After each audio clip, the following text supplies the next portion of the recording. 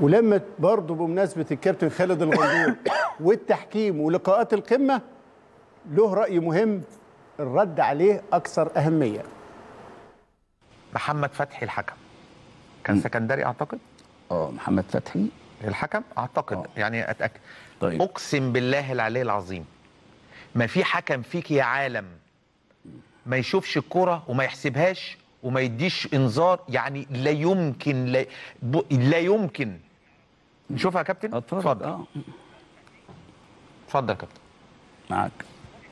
بص يا كابتن بص يا كابتن دي هتتلعب إيه؟ بص طويلة.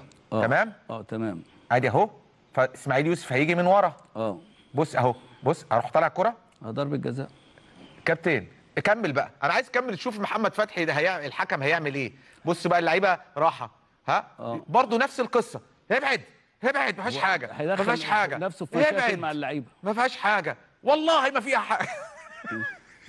يعني طب دي كوارث. طيب آه، نفسي نفسي كده في مباريات القمة نشوف يعني كارثتين كده على الزمالك مثلا. هي كلها كلها على الزمالك؟ الفاول هي كلها على الزمالك؟ بيقول لك خالد الغندور أنا نفسي مرة يبقى في خطأ في لقاء القمة؟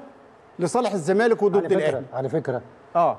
آه ساعة ما الكرة وصلت ربما يكون في عرقلة. أنا ما يعني مش عايز أجادل في آه. النقطة دي لكن تعالى في الكرة اللي قبليها. راحت إزاي؟ في فاول واضح وصريح على دفع تحت لاعب الزمالك للاعب النادي الأهلي في وسط الملعب.